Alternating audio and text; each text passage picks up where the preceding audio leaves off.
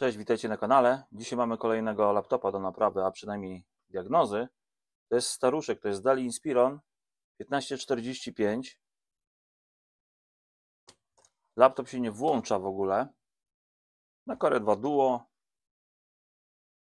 Jeszcze był e, sprzedawany z systemem operacyjnym Windows Vista. Wyjście HDMI. Czy mamy wyjście HDMI? Nawet wyjścia HDMI nie ma, mamy tylko D-Suba. Także dosyć wiekowy laptop. Pokażę Wam, jak on się zachowuje. Po podłączeniu zasilacza serwisowego załącza nam się tutaj niby kontrolka power, ale laptop nie jest włączony. Teraz go próbuję włączyć. Słychać wentylator. Pobór prądu jest taki zmienne, tak jakby się botował komputer, ale jest brak obrazu. Mamy linię śmierci, także on w ogóle nie reaguje. Delay, klawiatura nie reaguje. Dobra, rozkręcimy go. Może sprawdzimy na początek sobie e, pamięci operacyjne, czy, czy przypadkiem pamięć nie jest uszkodzona, czy ewentualnie slot. Bo może to być taki efekt w momencie, kiedy mamy slot albo RAM uszkodzony. Jeszcze sobie sprawdzimy może połączenie matrycy z płytą główną. Ja go wyłączę. I chyba wyciągnę również baterię od razu, żeby tu być pewnym, że nic tu się nie wydarzy. Jeszcze raz go podłączę Teraz popatrzcie, nie włączył się. Teraz go próbuję włączyć. A, to może ta listewka nie dociskała. Włącza się jednak. Proszę bardzo. I brak obrazu. Dobra, zaglądamy do slotów RAM. Zobaczymy, jak te sloty wyglądają. Po pierwsze, żeby się dostać do RAMu, trzeba tutaj usunąć tą zaślepkę. Zaślepka jest przykręcona ma takie cztery wkręty. Śrubki w zasadzie. Tu chyba będzie łatwy dostęp. Nie będzie żadnego cyrku z tym, z tym otwarciem. Proszę bardzo, mamy otwarty tutaj laptop. Widzimy tutaj soket procesora, układ chłodzenia. Mamy RAM, dwie różne kości. Mamy LPD, DDR2, nie wiem jakiej pojemności, być może 2 giga. I mamy Kingstona, również na LPDach, widać ktoś dobierał po prostu marką kości. Tu na pewno mamy 2 giga, być może tutaj jest 4 giga RAMu. Przeczyszczę tą kość, jak widzieliście, po prostu palcami i spróbuję uruchomić laptopa jeszcze raz. Czasami jest tak, że po prostu któraś z kości ma jakiś problem i przez to jest utrudnione botowanie lub niemożliwe botowanie systemu. Proszę, włączam go jeszcze raz. Kontrolka nam się zapaliła. Czekamy, aż się nam laptop zbotuje. Niestety nie. Nie botuje się. Dobrze, sprawdzimy matrycę. Przyciskam przycisk D jak display i włączam komputer. Testuje nam się matryca. Połączenie między matrycą a płytą główną jest w porządku, więc to nie jest matryca. Matryca zdaje się jeszcze świetlówkowa, bo nie, nie świeci zbyt jasno. Odłączymy komputer, podłączymy jeszcze raz zasilanko, jeszcze raz go spróbuję włączyć. To są takie procedury testowe, Trochę nudne, ale to wszystko trzeba wykonać. Dobra, nie uruchamia się. Zmienimy sobie kostkę na tą drugą. I jeszcze raz uruchamiamy komputer. Czy nam się włączy, czy nam się zbotuje.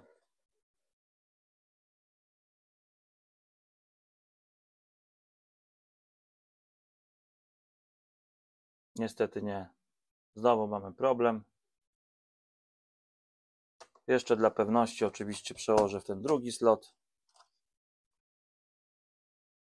Powodów takiego zachowania może być kilkanaście. Może być problem z CMOS-em, może być problem z jakimś układem, może być problem z BIOSem. Przełożyłem i w drugi slot, pamięć. Początek wygląda obiecująco, jeśli chodzi o pobór prądu, ale potem to wszystko tutaj się nam ta linia wypłaszcza, więc nie ma procedury tej standardowej post. Jest jakaś power sequence na początku i to wszystko. Dobra, laptopa trzeba będzie rozkręcić i sprawdzimy sobie CMOSa.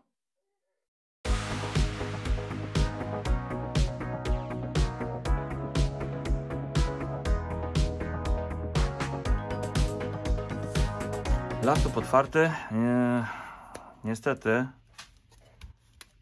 obawiałem się tego. Mamy tutaj układ graficzny AMD 216. Dokładny model zaraz Wam powiem co to jest. 072 8020 to mogą być y, to może być seria Radeona seria 3000 Słuchajcie, podejrzana w tym momencie jest karta grafiki AMD. E, podgrzejemy delikatnie rdzeń tej grafiki. Założymy chłodzenie z powrotem. I zobaczymy, czy, czy obraz po prostu nam się pojawi. Jeżeli tak, to znaczy, że problem jest ze zdefektowaną kartą grafiki dedykowaną AMD. Mam tutaj hota przygotowanego. E, wydmuch na 40 litrów, czyli delikatnie. Temperatura 350 stopni. Delikatnie podgrzejemy rdzeń. No i zaraz, zaraz wyliczy szydło z wora, czy, czy to jest problem z grafiką. Najczęściej to jest właśnie defekt tej grafiki. Gdyby to był komputer na procesorze i, i, i3 albo i5 pierwszej generacji z grafiką zintegrowaną, dodatkową Intela, to można byłoby się pokusić o zrobienie obejścia na integrę, na UMA i tą dyskretną grafikę po prostu wyłączyć. Natomiast tutaj mamy zwykłe, zwykłe Core 2 Duo. Tutaj w procesorze nie ma karty grafiki. Niestety, a nie wiem jaki jest chipset. Musiałbym to dokładnie sprawdzić. Dobrze, tyle wystarczy. Spróbujemy tego laptopa zaraz uruchomić. Przetestujemy sobie teraz tą płytę, czy nam wystartuje. Mam podłączoną matrycę. Ona nawet nie jest przykręcona, tylko tak osadzona w kadłubie. Chłodzenie od spodu jest włącz, yy, założone. Włączam linię i zobaczymy, czy laptop się po prostu nam tutaj włączy. Proszę, włączam go. I mamy logo Dela. Zobaczcie, jest to słabo widoczne. Może zrobię tak. Widzicie? Mamy logo Dela. Trafione, zatopione. Uszkodzona karta grafiki. Dobra, nie męczmy go. Muszę się dowiedzieć, czy klient będzie chciał to naprawiać. I zobaczymy. Ok, kontaktowałem się z właścicielem. Będziemy wymieniać układ grafiki. Sam chipset wylutuje z innej płyty. Mam tutaj podobną płytę na procesorze chyba Turion. Demontuję chłodzenie, wyciągnę płytę, bo to będzie po prostu troszeczkę dłuższa robota. Płyta już prawie przygotowana. Zaraz zawędruję na maszynę. Ściągnę oczywiście jeszcze te izolatory tutaj. Izolator pod pamięciami, pod pamięci, pod slotem. Generalnie płyta prawie gotowa. Jeszcze może tą żabę tutaj ściągnę pod CPU. Tu mamy most południowy IBM. Tu mamy V-ramę z jednej i z drugiej strony. Tu będę musiał chyba zabezpieczyć ten most i ten V-ram oraz ten mostek. Dobra, to działamy. Płyta trafi na maszynę do BGA. Płytka jest już na maszynie. Mam temperaturkę. Tutaj mogę Wam pokazać. Około 123 stopni, zależy w którym punkcie, 125. Czekamy aż płyta osiągnie e, 180 stopni i ściągnę ten układ. Ten układ tutaj graficzny. Po rogach był tutaj klej, tak punktowo nakładany. Ja ten klej po prostu tutaj sobie usunąłem takim skrobaczkiem. Takie kuleczki to są. Nie jest to taki klej jak w przypadku Lenovo. Zabezpieczę ten chipset tutaj folią aluminiową. No i zobaczycie jak ja demontuję ten układ. Na maszynie mamy już 187 stopni. Uruchamiam górną grzałkę. Zabezpieczyłem sobie chipset i VRAM. Mam tu ekstraktor gotowy w pogotowiu. Miękką pensetkę jeszcze sobie przygotowałem. Będę się po prostu wspomagał ją. Taka pensetka, skrobaczek i czekamy. Mamy 190 stopni, 196. Czekamy. Temperatura, która będzie tutaj osiągnięta, to będzie około 215-220 stopni. Przy takiej temperaturze będę usuwał ten układ. Zacznie nam tutaj delikatnie pływać na tym spoiwku. Oczywiście to jest laptop, który jest, jest już w technologii bezołowiowej. Lutowany. Wszystkie tu elementy są na bezołowiu. Mamy 203 stopnie. I jeszcze chwila, nie ma, nie ma o czym mówić. Tutaj trzeba poczekać. Ważne jest, żeby nie przekroczyć tej szczytowej temperatury i też nie można tego grzać w nieskończoność. Ta szczytowa temperatura może być osiągana gdzieś tak przez 30 sekund może, może mniej. Trzeba tego po prostu pilnować. Zaraz sobie tutaj jeszcze chwilę poczekamy. Mamy już 217 stopni. Układ jeszcze się trzyma. Ale to chyba resztki tego kleju trzymają. Tak. Dobrze. Ekstraktor w dłoń i spróbujemy to zdemontować. Nie wiem, czy będziecie to widzieli. Proszę bardzo, układ zdemontowany.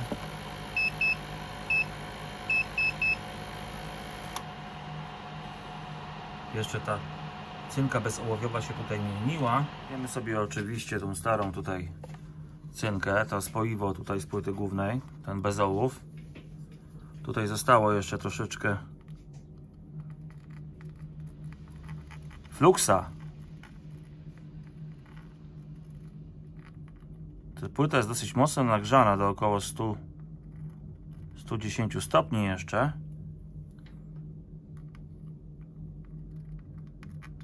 Trzeba to zrobić delikatnie, żeby żadnego pada nie uszkodzić. Usunąć resztki kleju i oczywiście po rogach. Mm, żeby nam po prostu nie kolidowały z następnym układem. Następny układ oczywiście biorę z wylutu z płyty głównej. Z tą shibę. Płyta, która robi jakieś cyrki. Ma coś z zasilaniem ale na pewno ma sprawny układ graficzny, taki sam. Jeszcze troszeczkę tutaj przejedziemy te pady tym spoiwkiem i do akcji zaraz wkroczy nasza plecionka. Dobrze. Plecionka, którą stosuję tutaj to jest marka Hemwik Mam troszeczkę ten grot taki nieciekawy. Trochę brudny, nie wiem czy to będzie widać, będę musiał tutaj chyba światło sobie zmienić. Jedziemy sobie całą płytę.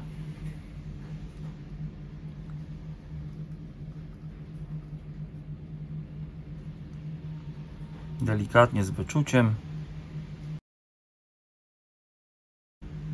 wszystkie pady po kolei. Środkowa część również. Tutaj trzeba uważać jedynie na tą drobnicę naokoło która tutaj się znajduje. Tego spoiwa tutaj jest niewiele ale trzeba to wszystko tutaj ładnie wyrównać. Kulki po prostu muszą być jednakowe. Nie może być tak, że któregoś pada pominiemy i układ nam krzywo siądzie albo coś w tym stylu. I jeszcze końcówka została. Grot mam rozgrzany na około 320 stopni. Tyle wystarczy. Ten ostatni kawałek troszeczkę tutaj będzie troszeczkę trudniejszy, bo robię to dosyć ciężko mi jest tutaj to Wam pokazać dokładnie. Dlatego mam tak kiepskie światło. O. Ok, wyczyścimy to teraz. Teraz będę musiał przygotować układ zdemontowany z Toshiby Devolutu. Mam sito wyczyszczone już. Sitko sobie na razie odłożę. Taką samą techniką, czyli demontujemy wszystkie kulki z tego materiału bezołowiowego, mieszając po prostu z tym nowym materiałem. Oczywiście potem to obczyścimy. Ja chyba obniżę temperaturę grota do 300 stopni.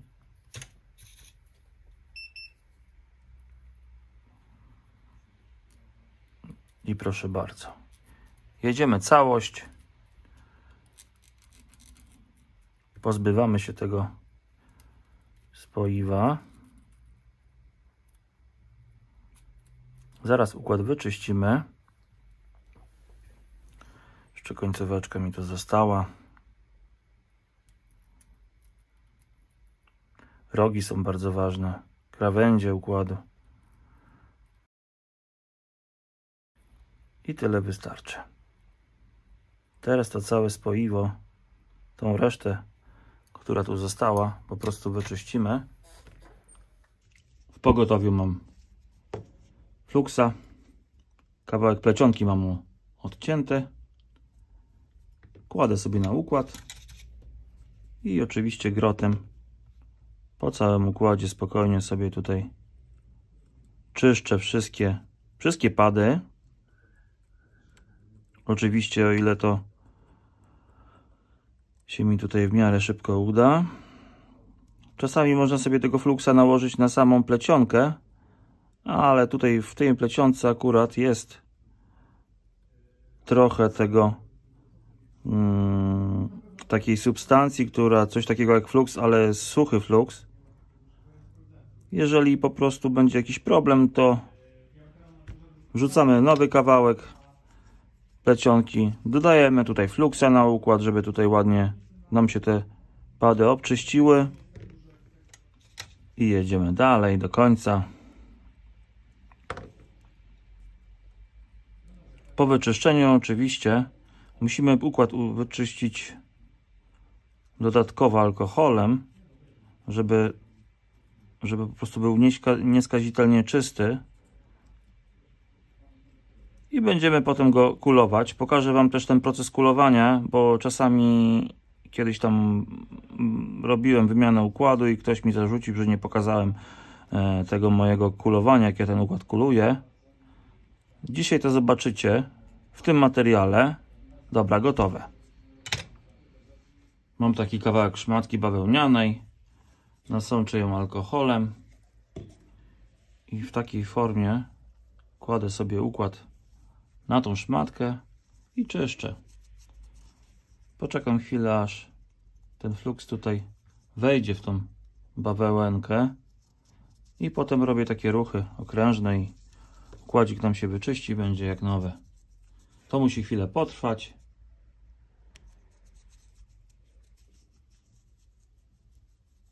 Po wyczyszczeniu układ wygląda w ten sposób. Druga strona też całkiem nieźle. Ok. Zaraz zaczniemy kulować układ. Proszę, mam taki mały kawałek kartki, mam sito, mam układ. tej kartki robię taką jakby pudełeczko, taką tackę.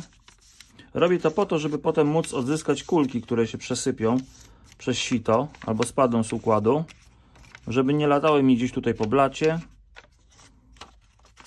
I stary sposób. Ok. Takie sito kładę tutaj. To jest brudne sito, ono jest tylko do, do wygrzewania i do, do kulowania. Kładę na, na tą łódeczkę. Układ posmarujemy tutaj RMA 7. Nałożymy na, na to, na ten układ to sito. Układ już posmarowany cienką warstewką. Co teraz? Teraz musimy sito dopasować. Tu mamy klucz, czyli nie ma jednej kulki z rogu. Sito jest czyste, przygotowane do montażu. Tutaj nie mamy też jednej, jednego otworka, więc to będzie tak szło.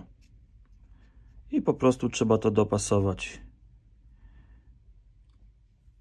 Teraz całość trafi pod mikroskop. Wykalibruję jeszcze to sitko dodatkowo. Kulki zastosuję 0,45 ołowiówki. Macie widok pod mikroskopem. Sito jest spozycjonowane. Tutaj jakieś ciemniejsze miejsca. Nie, to nie jest brud. Tutaj może, a nie, nie jest to brud. Myślałem, że tutaj jest brudne. Ok. Zasypuję całość, cały układ kulkami tej środkowej części i lekko potrząsam. Niech te kulki się po prostu rozejdą. A potem poprawię to oczywiście pędzelkiem, takim małym, mięciutkim pędzelkiem. Chwilę trzeba dać na to. Do akcji wkracza, wkracza pędzelek. Popatrzcie. Tak sobie tutaj obmniatam te wszystkie pady. Kulki trafiają w odpowiednie otwory sita. Reszta oczywiście tam upada. Niżej widzicie? I tak jedziemy całość, cały układ. Cyk, cyk, cyk. Aż zrobi nam się komplet. Wszystkie otwory muszą być zapełnione. To nie jest trudne, tylko trzeba po prostu uważać też, żeby sita nie przesunąć względem po prostu padów na układzie. I jedziemy tak cały czas.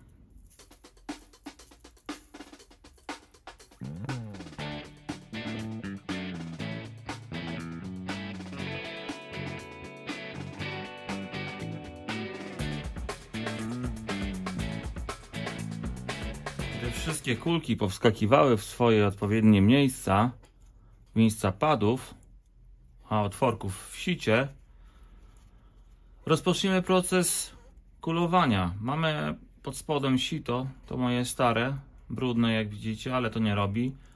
Pod spodem jest jeszcze taka specjalny, specjalny pad owinięty folią aluminiową. Uruchamiam hota. Uruchomimy go. Temperaturka ustawiona na 350 stopni. Wydmuch na 50 litrów. I zaraz zobaczycie, jak to pod mikroskopem wygląda, jak te kulki siadają. W kadr może się dostawać niestety wąż yy, hota, więc wybaczcie mi to. Mam takie warunki. I powolutku, powolutku grzejemy. Będziecie na pewno widzieć ten moment, jak one się rozpływają, te kulki. Cały układ musi być zakulowany równomiernie. Oczywiście mogą być jakieś niedoluty. To jest standard. Wtedy się po prostu takie kulki uzupełnia. Środkowa część oczywiście zakuluje się później, bo tam jest rdzeń z drugiej strony. Tutaj potrzeba więcej czasu, żeby to ładnie nam tutaj osiadło.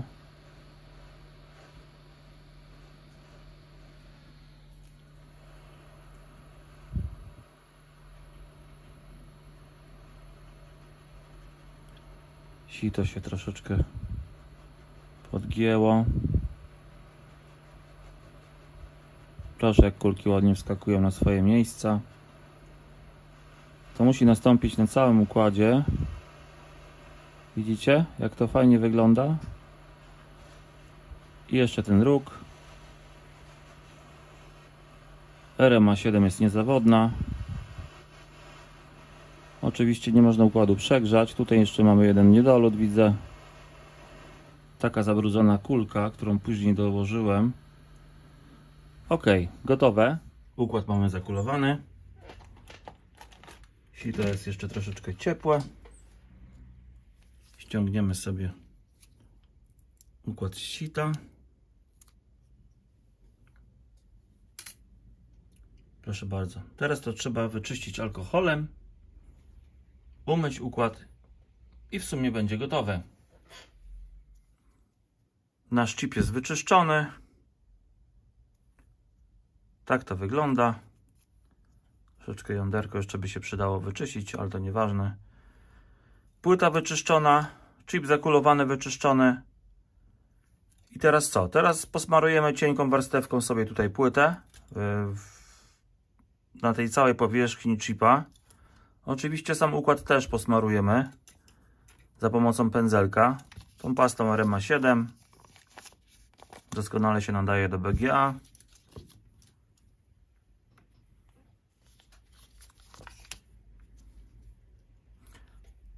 Trochę fluksa.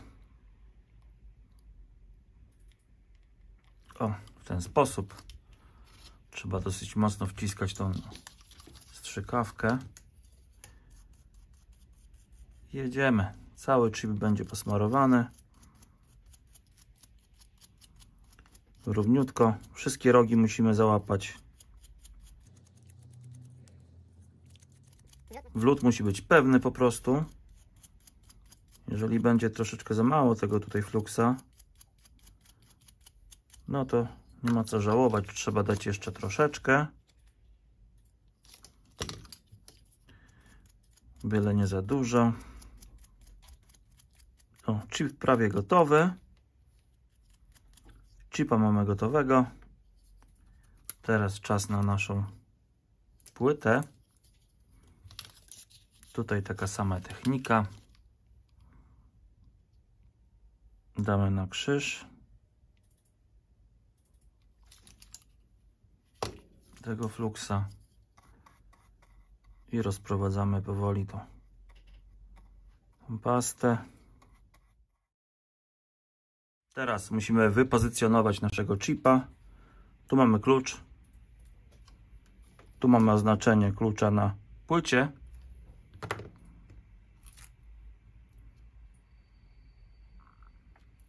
Ten sposób. Teraz płyta trafi na maszynę BGA i będziemy osadzać układ. Mamy już temperaturę 170 stopni.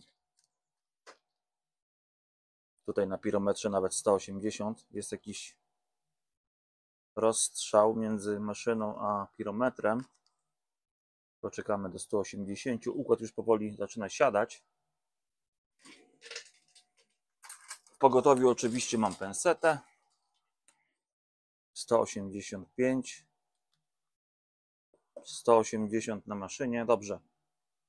Włączymy górną grzałkę. I trzeba chwilę poczekać. Dojedziemy do 220 stopni. Przeciągniemy około 20 sekund.